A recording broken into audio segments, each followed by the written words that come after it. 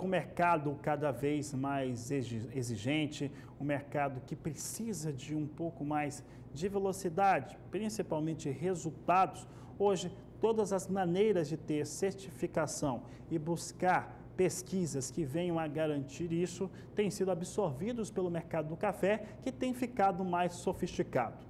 Com vistas a essa situação, a pesquisa tem conseguido atender essa demanda.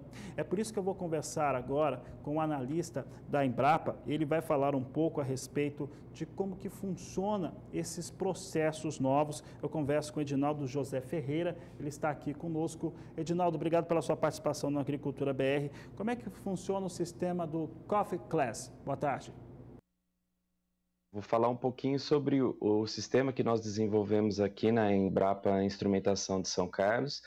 Esse sistema é um sistema inteligente para análise da qualidade do café torrado e moído. É, é um sistema que nós começamos em. É, a ideia dele originalmente iniciou em 2013 e nós submetemos um projeto de pesquisa ao consórcio Pesquisa Café e nós geramos esse sistema que faz a análise da qualidade do global do café a partir do, do pó. Portanto, ele é, é possível com o sistema que nós é, nominamos Coffee Class, é possível com esse sistema a, aferir a qualidade global do café sem ter que preparar uma bebida. Como é feita a análise pelo sistema? O sistema Coffee Class ele faz é, análise de imagens digitais, portanto ele trabalha com uma, uma, um microscópio digital. Esse sistema ele, ele amplia a imagem e depois ele, uh, usando esse microscópio, ele usa um, um, núcleo de inteligência artificial, um algoritmo de inteligência artificial que reconhece os padrões de, de qualidade do café e correlaciona esses padrões de qualidade do, do café com a, os padrões atribuídos pelo, por um degustador ou por um provador de café. Então, o sistema faz basicamente a análise da, da imagens do, do pó de café e faz estabelece correlações com a aferição que seria realizada pelo degustador. Como que a qualidade do café é detectada? Vamos imaginar que é, quando a gente olha é, com uma luneta ou quando a gente busca informações de, de, alguns astros, como por exemplo Marte, a gente sabe que Marte, por exemplo, é o chamado planeta vermelho. E por que ele é um planeta vermelho? Porque na, no solo de Marte é, nós temos a presença do óxido de ferro. E isso dá a característica de, de um, um solo avermelhado e, portanto, o que a gente vê é um planeta vermelho. É, o que eu quero dizer é o seguinte, que as informações de coloração estão ligadas à, inf à, informação química, e quando a gente olha com um microscópio, isso também acontece. Então, é, quando a gente ilumina o café com a luz branca e adquire algumas informações é, de imagens que são ampliadas, é, nós temos informações que estão relacionadas tanto com a, a parte química, do café, como com a parte física. Uh, apesar da, da torra, da, apesar de ter o efeito da torra que é, para o olho humano parece homogênea, quando nós colocamos em uma um microscópio que amplia a imagem e colocamos uma inteligência artificial que busca as nuances de coloração, nós encontramos informações é, dentro desse pó de café que deterioram ou não a qualidade. A partir dessas informações, nós estabelecemos correlações com a qualidade da bebida, que é atribuída pelo degustador. E isso trouxe um. Isso permitiu que criássemos um sistema é, que interpreta o que está lá no pó e correlaciona com a qualidade que é aferida pelo degustador. Esse sistema atualmente ele, ele produz uma, um acerto, uma acurácia de 75%. E temos é, trabalhado intensamente para melhorar o desempenho desse sistema. Como que a tecnologia artificial impacta na produção? O sistema afeta diretamente na manutenção da qualidade do, do produto do café que a gente consome.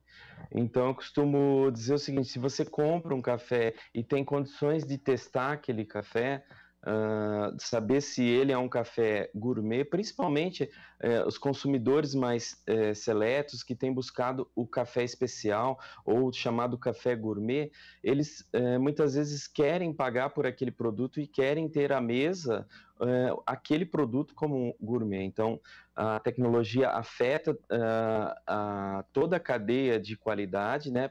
deve afetar toda a cadeia de qualidade, no sentido de assegurar a qualidade ou o padrão de qualidade tanto para o consumidor até mesmo para o produtor que, que pode vender, produzir um café de alta qualidade e ter segurança de que está vendendo para a sua cooperativa ou está vendendo diretamente para o consumidor um café que tem qualidade. Então, a tecnologia deve impactar no setor é, ou no nicho de qualidade da cadeia do café. E essa tecnologia acaba comprometendo o papel do degustador de café? O sistema ele é baseado em inteligência artificial. Esse é o grande diferencial do sistema, né? Por, é, por conta de que a gente o, o, microscópio é, que nós utilizamos é uma tecnologia comercial é, por, e que pode ser adquirida por qualquer um, inclusive por um, uma pessoa física comum. A internet, é, o mercado na internet disponibiliza essa tecnologia então, o que nós estamos derivando de fato é um sistema inteligente, é um sistema que trabalha com, que usa incorporado nele a inteligência artificial, que é algo que tem trazido muitas soluções ao agro, inclusive trouxe essa solução para o Coffee Class, e, e, permite então que a gente faça essa ferição e que aprenda mais do que isso, aprenda com o degustador. Uh, muita gente me pergunta, Edinaldo, o degustador vai ser substituído? Não, esse é um sistema que vai apoiar o degustador. Nós precisamos do, do degustador, do provador de café, inclusive para ajudar a treinar a inteligência artificial que está embutida nesse software. E quando o Coffee, Coffee Class, Edinaldo, pode chegar ao produtor rural?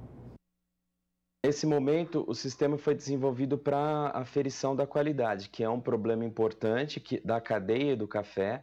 E mais a ideia é que nos próximos quatro anos é, nós submetemos um outro projeto, né, estamos aguardando a resposta, é que pros, para os próximos quatro anos a gente possa incluir outros atributos do café, como por exemplo é, a inserção de adulterantes no, no café ou talvez até alguns contaminantes. Também temos a ideia de que a gente é, possa portar essa plataforma no futuro para celulares e, e tablets. É, esse é o desmembramento que deve ser gerado no, nos próximos quatro anos de trabalho com esse sistema. Tá certo, obrigado, Edinaldo, pela sua participação, conversando aqui um pouco a respeito de como é que funciona essa tecnologia nova Coffee Class desenvolvido na Embrapa.